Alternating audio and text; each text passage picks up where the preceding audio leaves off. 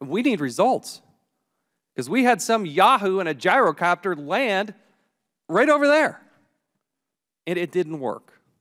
And I got these opening statements from you that shed no light other than a timeline and what, how big a space the park police protects. It didn't work. We need candor. Time is of the essence.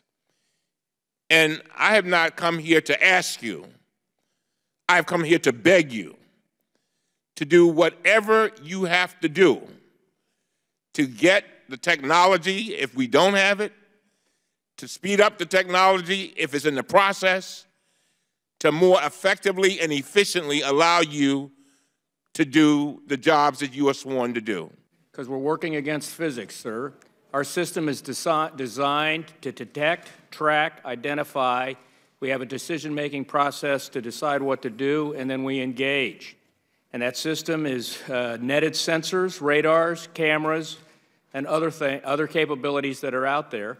And we employ that system to the best of our ability, mitigate the risk as the best of our ability, but it's only uh, capable down to a particular set of characteristics that the platform that we want to track and defend against is uh, emitting based on speed and based on size. As I testified to earlier, it appeared and disappeared.